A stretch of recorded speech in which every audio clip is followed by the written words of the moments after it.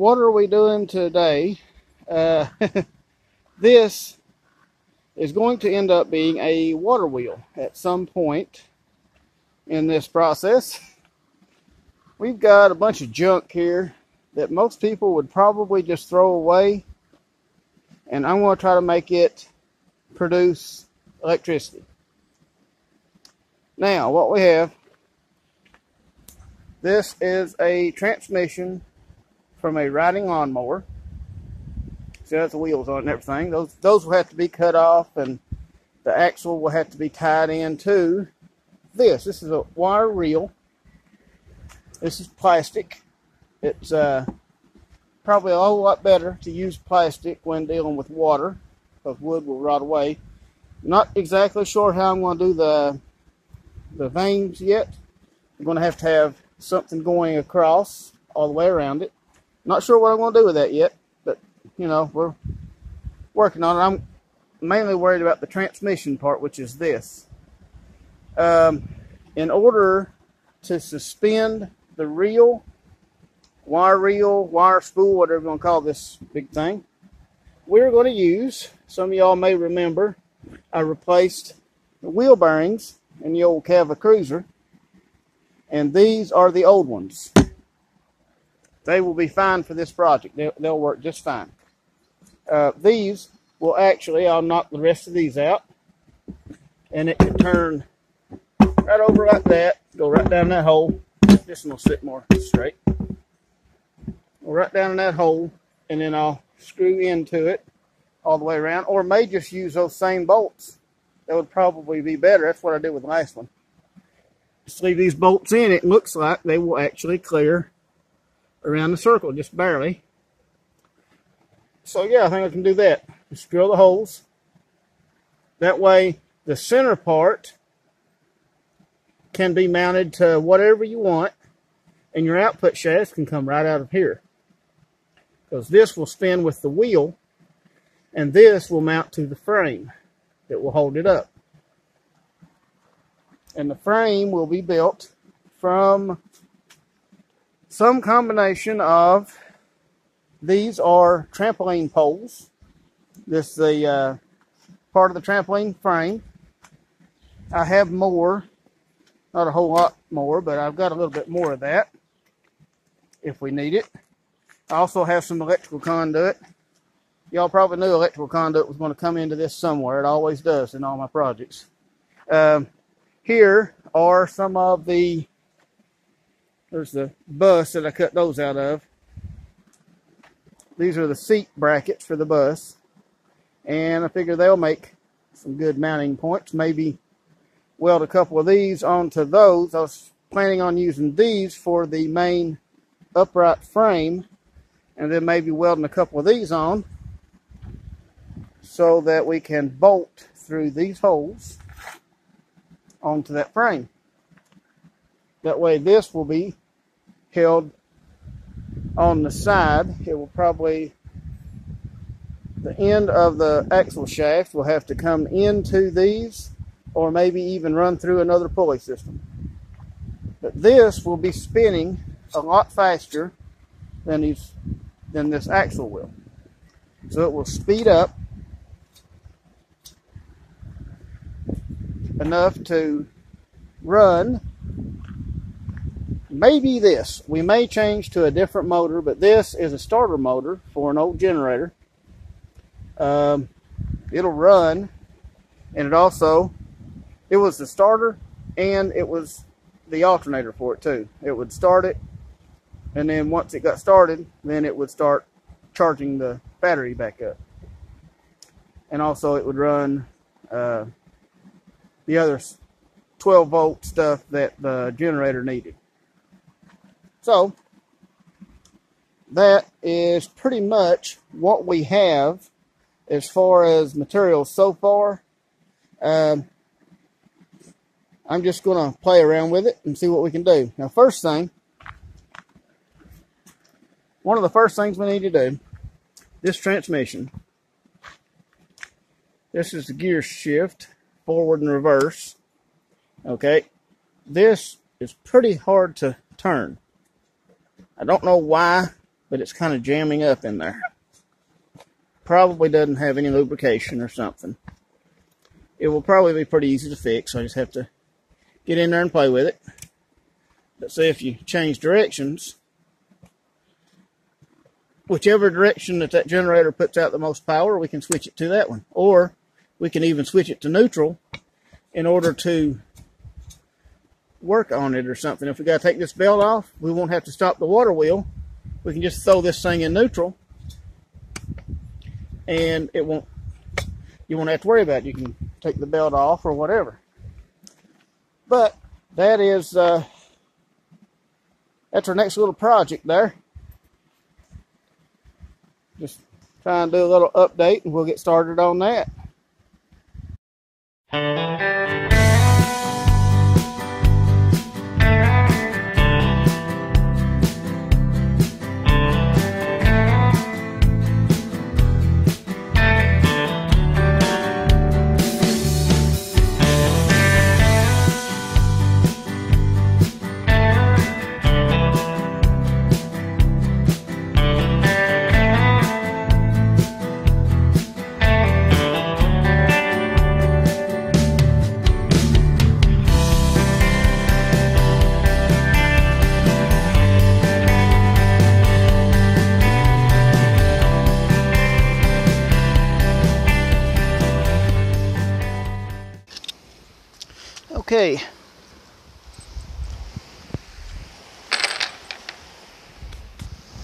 That has all of those free. Let's see what we got in here. Yeah, I didn't have to take it off anyway. This moves pretty freely. You can see it all kind of needs cleaned up, but it moves freely. So that is not the source of our resistance.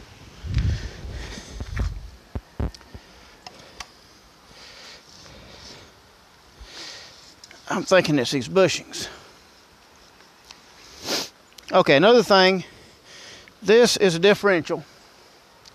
And we real see you can see that when I turn one wheel this way, the other one will turn that way and this does not spin. Which means that if I hook the water wheel up to one side and have a load on the output shaft, then when you put power on this, it's going to just spin the other wheel. So we don't want that. We want to fix this differential where this is more or less just a straight through axle out just like that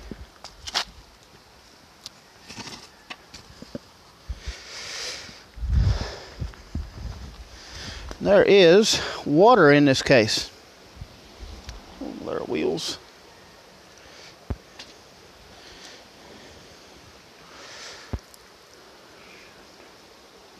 Hmm. You can see how this transmission works. With this shifter over in this position,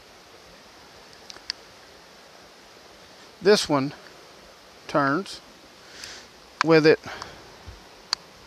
in that position that one turns okay and the output shaft actually on the lawn port on the lawnmower, it is the input shaft that comes in here. The power comes in and goes out through the wheels, of course. In our case, this is going to be the output shaft. The power is going to come in through these, and this will be where it comes out. So, yeah. Anyway, we, we will clean this up, weld up that differential, see what we can do. Now, this is the differential I've got it all cleaned up. I got my little thing of solvent here that I used to clean it. And the way that this comes apart, there's a bolt that goes through a bushing like that, down through here, another bushing, a washer, and a nut on the other side. So now that I got that figured out how to get it apart, these little gears in here are the ones that mesh with the axles. There's two gears, one on each side, and then a gear here and a gear on the other side of this differential. Now I think if I can weld right around here, just bind the case to the gear, flip it over, and weld on the other side, I believe this differential will be locked and I can still put my bolt back in and make sure my axles are locked in. Uh, I guess you can take all this apart and weld everything up and all that, but I don't think I need to do that. I think I just need to weld that, flip it over and weld the other side, stick the bolt back in and be done with it. So let's get a welder and get to work.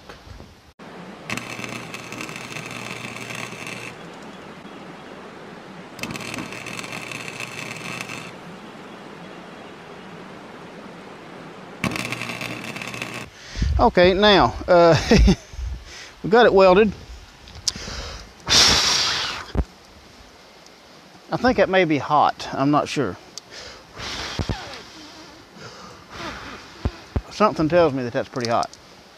Anyway, you are not going to spin these wheels opposite directions now. It is locked.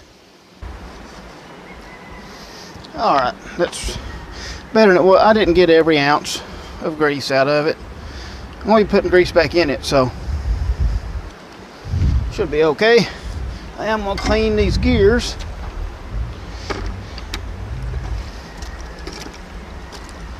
And these bushings.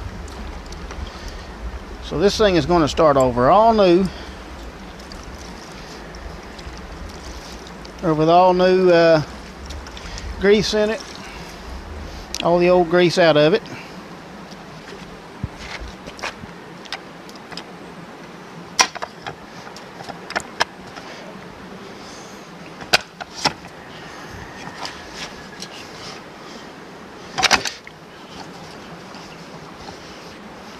Now I'm going to put 90 weight grease in it. I know it had the thicker stuff before.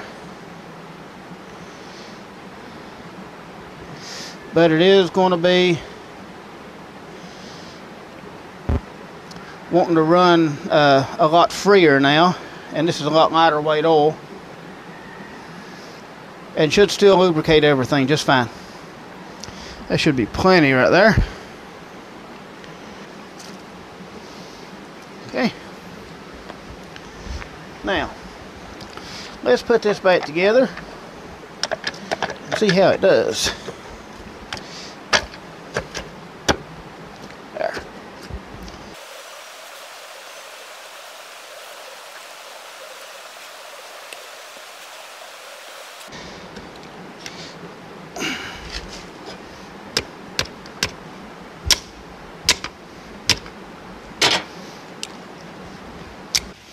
Well, all right. Now we have our transmission freed up so that I can turn it just using one finger. Before, I had a hard time even getting it to move. A big part of it was this little brake was holding pressure on it and not letting it spin. So I probably could have fixed that by just pulling the brake off and oiling it up, but we're not going to use this brake. Not that I know of. In the future maybe, but now, right now, no. Right now, we're going to have this as the water wheel transmission. now these wheel these wheels have been welded on. Uh, I'm not going to cut them off just yet. Uh, I, I didn't weld them on. I don't know who did. Uh, I got this transmission for free from somebody, and they were already welded. So, not really much I can do about it. Except for, I guess I can cut them off, but I want to uh, get everything set up first and see how I'm going to hook to it first before I go cutting those off. I may need to use them, maybe wrap a belt around the rim or something. I don't know yet. So I'm not going to cut those off just yet. Now, uh, our next step will probably be putting the fins in, taking the reel apart and putting the fins in between. Got an idea for that, but you have to wait till the next video. so I guess that's probably going to about do it for this one. Appreciate everybody watching and I'll see y'all on the next one.